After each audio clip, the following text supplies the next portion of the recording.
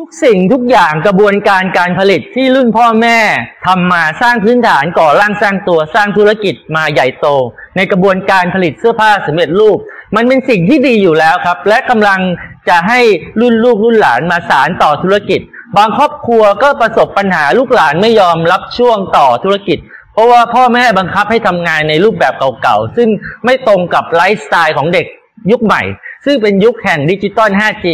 แต่พ่อแม่ทำงานมากับ pattern กระดาษเป็นแบบแดร์ล็อก แต่ไม่ใช่ว่ารุ่นเก่าไม่ดี มันดีที่สุดในรุ่นของอายุเขาแล้วครับ แต่เมื่อจะมาส่งมอบให้กับรุ่นลูกแบบเรื่องการส่งมอบเนี่ยมันไม่ตรงตามไลฟ์สไตล์ของเด็กยุคใหม่ คือทุกอย่างมันต้องเป็นรูปแบบดิจิตอลใช้งานง่าย ใน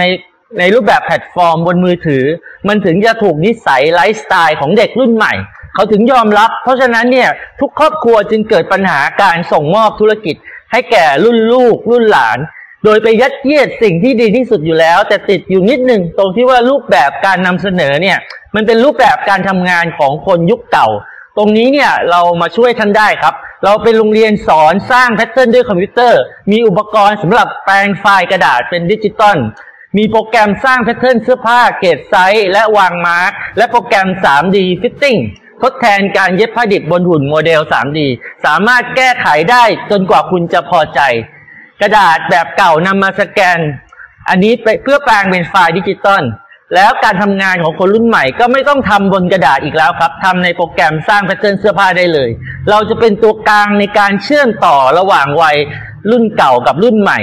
ให้ประสานกันได้อย่างไร้รอยต่อ และนำสิ่งที่ดีที่สุดของคนยุคพ่อแม่ที่ทำไว้ดีแล้ว เพียงแต่เปลี่ยนจากกระดาษให้เป็นไฟล์ดิจิตอลโดยของที่ดีที่สุดที่พ่อแม่ได้ทำมาทั้งชีวิต แปลงเป็นไฟล์ดิจิตอลทั้งหมด เพื่อส่งมอบให้กับลูกหลานได้ดำเนินธุรกิจต่อไปได้อย่างไร้รอยต่อ สนใจติดต่อมาที่เบอร์ด้านล่างนี้ได้เลยครับ